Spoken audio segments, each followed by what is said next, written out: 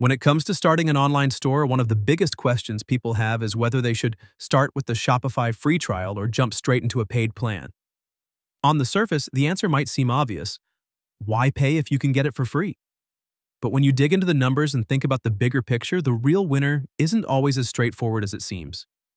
The Shopify free trial is a fantastic tool for getting your store up and running without the pressure of an immediate bill. You get access to the full platform product listings, payment gateways, analytics, app integrations, the works, all without paying for the subscription until the trial ends. This is perfect for someone who's just starting and wants to test the waters before committing financially. But here's the thing most people don't think about time is money. The longer you spend in setup mode, the longer it takes to start generating actual revenue.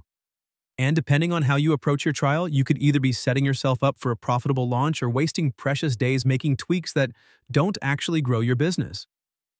Starting with the free trial gives you a safety net. You can test different products, experiment with store designs, and run small ad campaigns without the pressure of covering your subscription cost. For many beginners, that breathing room makes a huge difference. It lets you learn the platform, figure out what works, and make mistakes without paying for them.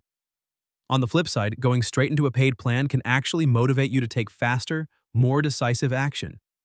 When you know you're paying for every day the store isn't live, you naturally move with more urgency. You prioritize the tasks that matter most, like launching your first product, setting up your checkout, and driving traffic, instead of getting lost in endless prep work. From a profit perspective, the choice often comes down to how quickly you can get your store live and making sales. If you're someone who tends to procrastinate, the free trial might actually work against you, giving you the illusion of unlimited time. But if you use it strategically, treating day one like launch day, you can leave the trial period with actual sales, real customer data, and a store that's ready to scale. The paid plan, on the other hand, starts the clock from day one. There's no safety net, but there's also no wasted time. You're in business immediately, and that urgency can translate to faster profits if you have your products, marketing, and audience ready to go. Here's where the real comparison comes into focus. The Shopify free trial is best for someone who's either brand new to e-commerce or testing a completely new product idea. If you don't yet have your products sourced, your marketing plan built, or your store concept nailed down, the free trial gives you the space to put those pieces together without the pressure of monthly fees. It's essentially a no-risk playground for you to learn, build, and test before committing financially. But there's a flip side to that safety net. If you're not careful, it can make you too comfortable.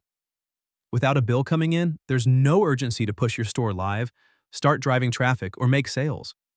That's why so many people end their free trial with nothing to show for it and then feel hesitant about upgrading to a paid plan.